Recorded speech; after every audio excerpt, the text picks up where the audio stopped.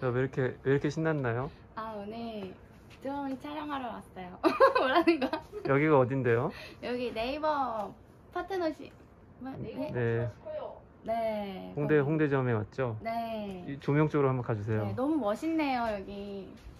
일단은 어쨌든 좋은 기회가 돼서 네.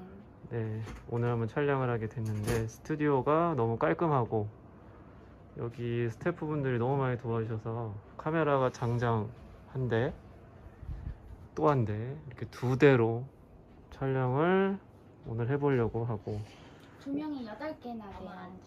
네, 네. 평소보다 더 이뻐 보이는 것 같네요. 감사합니다. 오늘 오늘 준비한 곡은 뭡니까? 어, drumless 노래인데 네, 네. 어, 드럼 MR 곡입니다. 그냥 아무튼. 네, 네. 그래요, 알겠습니다. 네.